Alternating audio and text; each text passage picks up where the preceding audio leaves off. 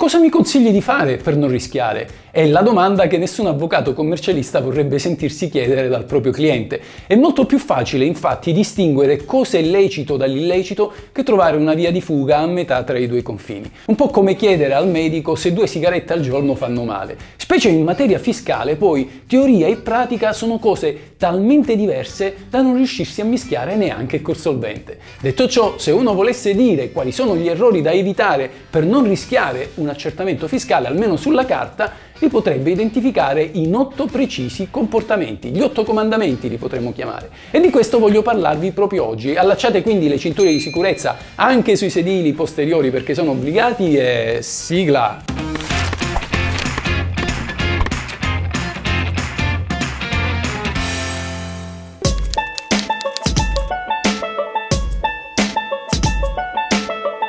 Pensate al vostro conto corrente come a una sorta di scatola trasparente dove ciò che fate può essere visto da chiunque. Se non siete giovane avrete vissuto probabilmente negli anni in cui vigeva il cosiddetto segreto bancario è roba passata ormai, non esiste più. Oggi la regola è quella opposta. Il conto corrente non è il vostro piccolo regno, ma un deposito condiviso con l'Agenzia delle Entrate, la quale non solo può prelevare direttamente senza autorizzazione del giudice quando vanta dei crediti e ve ne ha dato notizia con la cartella esattoriale, ma può anche sapere quanti soldi avete e come li state utilizzando. Grazie all'anagrafe dei conti correnti, infatti, non c'è più bisogno delle ispezioni, quelle cioè con la Guardia di Finanza che fa gli accessi in banca e requisisce i documenti.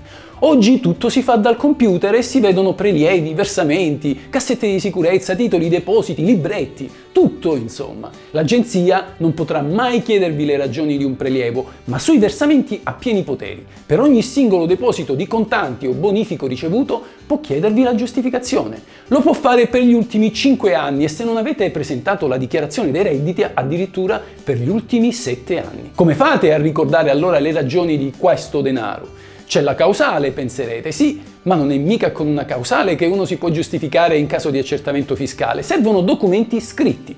Se avete ricevuto un bonifico dovrete dimostrare di aver emesso una fattura o di aver ricevuto una donazione e senza un contratto registrato, come lo dimostrate? Se avete ricevuto un risarcimento ci sarà l'estratto conto a dimostrare la provenienza dei soldi, se avete vinto al gioco dovrete conservare le ricevute. Per fortuna quando si tratta di regali ricevuti dai familiari conviventi non c'è ragione di dare spiegazioni, si presume che siano l'effetto dello spirito di solidarietà che lega i parenti più stretti e non invece il pagamento di prestazioni, anche se vostro padre vi ha dato la paghetta extra per avergli raso l'erba del campo. Ma dagli amici guardatevi bene, i loro regali potrebbero diventare i vostri peggiori nemici, almeno nei confronti del fisco.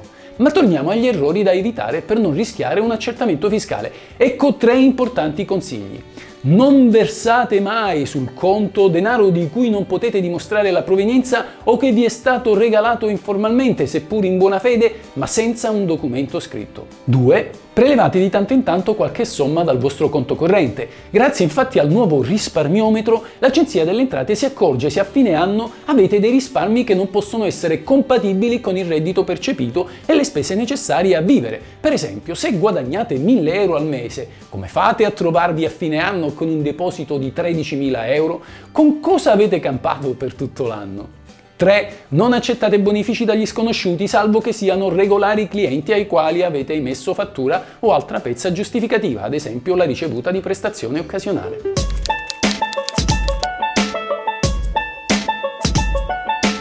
Se avete una partita IVA, non aggiungetevi alla già copiosa fila dei furbetti che sperano di scaricarsi dalle tasse la cena con gli amici, l'acquisto del televisore o magari dell'orologio chiedendo la fattura.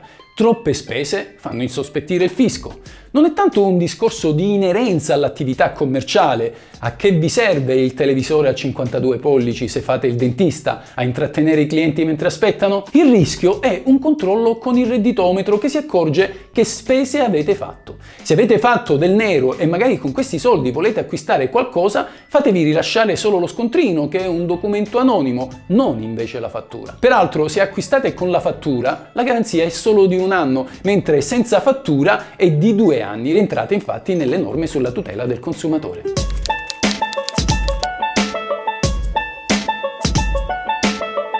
Se state facendo una spesa di grosso importo come l'acquisto di un'auto e un genitore vi sta aiutando, fatevi versare i soldi sul conto corrente o diversamente fateli accreditare direttamente sul conto del venditore facendo indicare nell'atto di vendita che l'acquisto viene fatto con denaro di un parente a titolo di donazione in vostro favore. Ciò vi metterà al riparo tanto dalle imposte sulla donazione quanto da un accertamento fiscale nel caso in cui la vostra dichiarazione dei redditi denunci una situazione patrimoniale tale da non potervi permettere questa sorta di acquisto di lusso. Lo stesso dicasi nell'ipotesi in cui un familiare vi aiuti nelle spese quotidiane, come ad esempio nel pagamento delle bollette o del condominio. Dunque, per ritornare agli errori da evitare per non rischiare un accertamento fiscale, ecco i miei consigli. Non fatevi mai dare regali di denaro in contanti, peraltro se superano 2000 euro il cash è vietato. Se acquistate un bene di lusso come un'auto o una casa, l'atto deve indicare che il denaro impiegato è il frutto di una donazione.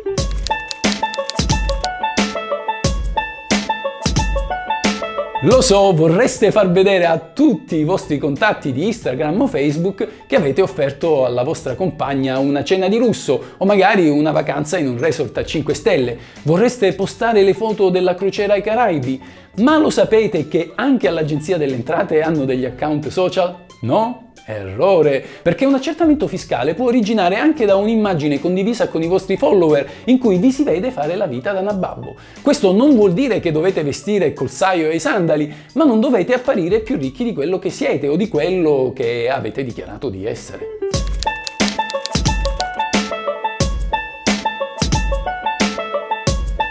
Poverello che non ha liquidità chiede soldi in prestito alla banca. Il poverello che non ha patrimoni e teme per il futuro dei suoi cari in caso di propria morte si fa un'assicurazione sulla vita. Ma se mutui e premi assicurativi hanno una rata troppo alta, la favola non regge più. E non sono pochi gli accertamenti fiscali intrapresi proprio per via dell'ingordigia della gente. Alla fine anche i soldi pagati periodicamente agli intermediari finanziari sono un indice di ricchezza e fanno scattare il redditometro. Quindi, ultimo consiglio che vi do per non rischiare un accertamento fiscale è fate tutto in proporzione alla vostra dichiarazione dei redditi. E sapete perché?